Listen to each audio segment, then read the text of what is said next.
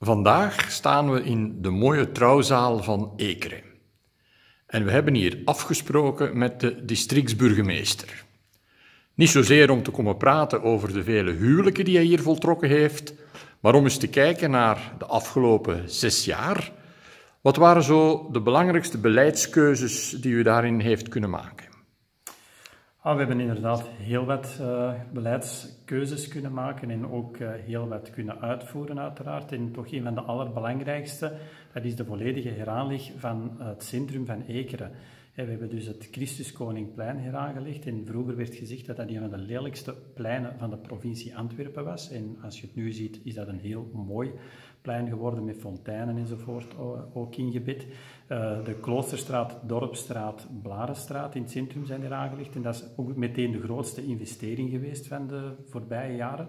Zo'n uh, eh, 4,7 miljoen euro toch is daarin geïnvesteerd.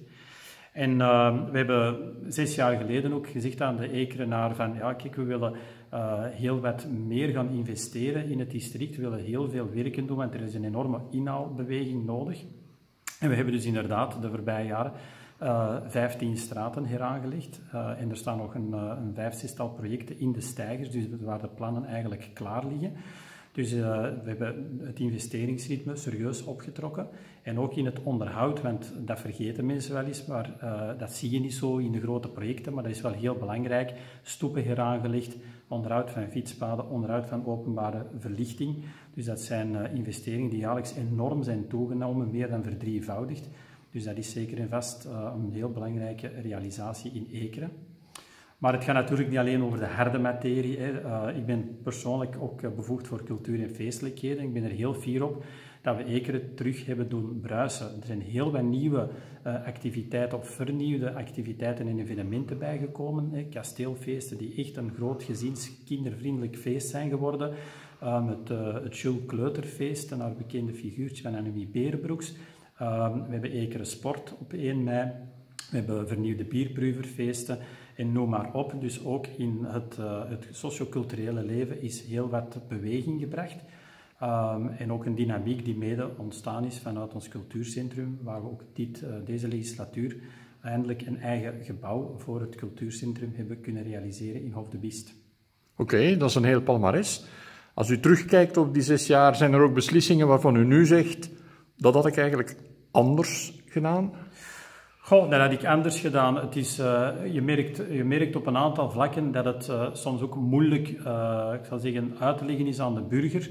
Hè, de complexiteit van bepaalde dossiers. En dan denk je van, ja, uw, uw communicatie, die kan toch soms nog, nog een stukje, stukje beter of performanter eigenlijk naar de mensen toe. Uh, zo is het uh, moeilijk te begrijpen voor sommige mensen dat er in de kloosterstad bijvoorbeeld geen apart fietspad ligt. Hè. Nu, daar is een hele uitleg voor om te zeggen dat zal ons te ver voeren, maar dat krijg je er gewoon niet in. Maar dat is iets dat je eigenlijk op een goede, deftige manier moet blijven communiceren. Want uiteraard zijn wij voor uh, fietsen en fietsbeleid. En we trouwens ook de voorbije jaren heel wat rond gerealiseerd. Een nieuwe fietstunnel aan het station, die in volle aanbouw is. Onder andere een aantal kilometer fietsstraat of fietspad bijgelegd. Dus uh, uiteraard zijn wij ook voor uh, de shift meer naar andere vervoersmodi. Maar op sommige plaatsen lukt dat gewoon niet. En dat zijn dingen dat je zegt, ja, uh, je moet dat op een andere manier aanpakken en communiceren. Zoiets bijvoorbeeld, om dat nog duidelijker aan de mensen te maken. Dat je een beleid voert dat uiteraard wel rekening houdt met, met ook het toegenomen bijvoorbeeld fietsgebruik. Ja, oké. U bent uh, lijsttrekker voor de verkiezingen van komende zondag. Dan neem ik aan dat u zin heeft om er nog zes jaar bij te doen. Wat zijn dan nieuwe accenten die de volgende zes jaar zouden gelegd worden? Wij zien een enorme druk eigenlijk op Ekeren. Hè. Uh, we hebben altijd gezegd, Ekeren is een dorp in de stad en daar zijn we ook heel fier op. En dat moet ook een dorp blijven. De mensen kennen hier uh, elkaar nog, het verenigingsleven bloeit enzovoort. En dat dorpse karakter van Ekeren uh, zo ver en zo goed mogelijk behouden, dat is iets waar we echt op moeten blijven inzetten. Dat gaat dan over ja, wat je soms kan noemen het verappartementiseren hè, van de, de dorpskernen, woningen, zelfs villa's, die, die uh, worden platgegooid en men zet appartementen in de plaats. Ja, dat willen we toch zoveel mogelijk wat uh, tegengaan, ook omdat natuurlijk ook dat enorm veel mobiliteitsdruk met zich meebrengt. Um, en dat zijn aandachtspunten voor de komende jaren. Vandaar ook een van onze belangrijke speerpunten is het leefbaar houden van Ekeren, maar ook het uitbouwen van, van de fietsinfrastructuur. We hebben een ambitieus fietsplan om een fietsring rond Ekeren te leggen. Dat gaat over ettelijke kilometers, 17 kilometer fietspad en fietsaustrade. Dat kunnen we niet alleen. Dat is ook samen met gewist in de provincie dat dat moet gebeuren. Maar we willen dus echt veel meer inzetten de komende jaren op uh, fietspaden. En dan een heel belangrijk punt ook voor Eken is, na uh, vele jaren daarover te praten en heel veel pleidooien daarvoor, zal ik zeggen, vinden wij althans dat er eigenlijk eens een deftige uh, zaal moet gerealiseerd worden voor onze socioculturele verenigingen, voor het cultuurleven in Ekeren.